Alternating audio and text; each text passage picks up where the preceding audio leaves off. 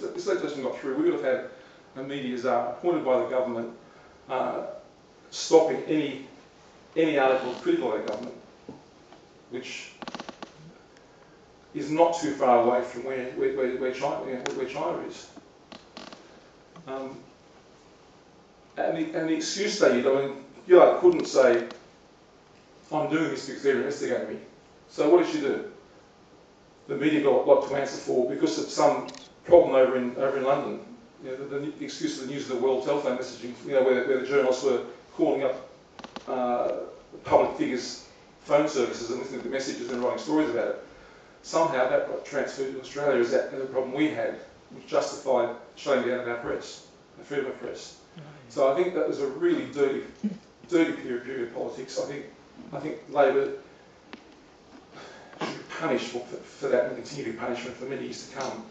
And as far as I'm concerned, they haven't been brought out hard enough. And I, I, I can't imagine I worry that if they come back in, they'll do it again. Um, Worse.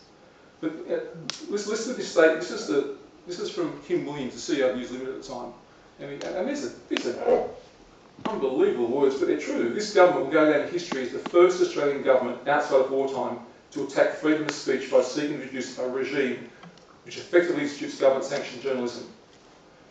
The public interests are we beholden to government and will act as, as its gatekeeper. It's a sad day for our democracy.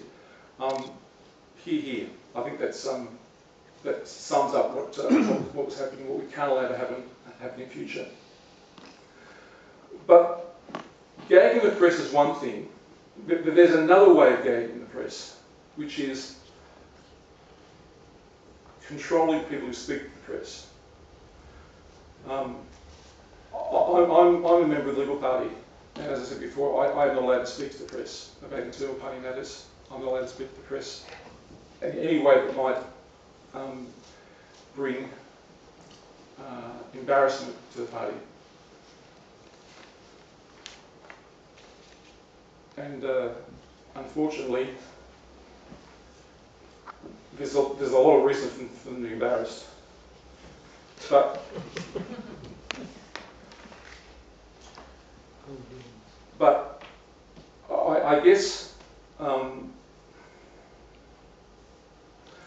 they put this restriction on, on their members from, from talking to the press, but it's a sham. Everyone talks to the press. I mean, except that they talk off the record.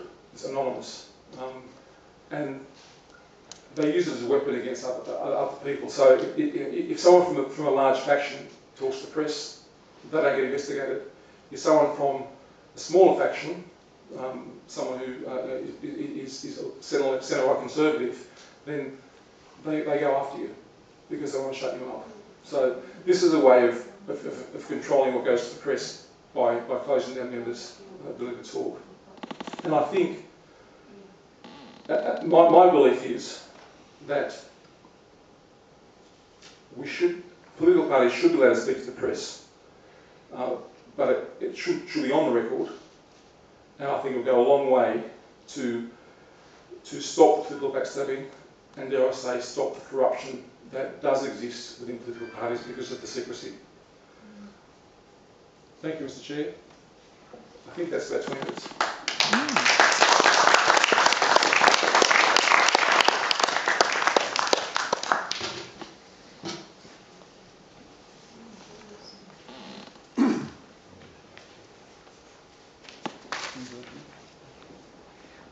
Thank you very much, Burke. Uh, now, uh, the second speaker in tonight's panel, The Gagging of the Media, is Jock Cheetham. Jock Cheetham has been a journalist since 1991. His writing has been published Sydney Morning Herald, The Australian, The Times, Higher Education Supplement of the UK, The Independent of the UK, among others, and his video and radio work has been broadcast on the ABC.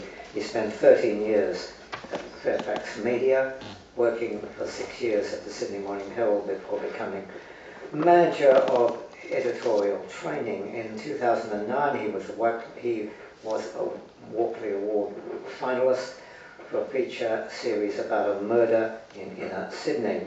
In 2017, he moved to Charles Sturt University in Bathurst as a senior lecturer in journalism. since 2005, he's consulted pro bono on media development in East Timor, helped raise and distribute $200,000 to support independent journalism and media. Last year, he established the Bathurst Multicultural Storytelling Festival, which will run again this year during Harmony Week at the end of March.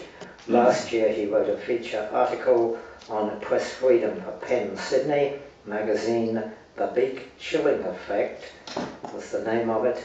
Uh, welcome, Jock Cheetham, please.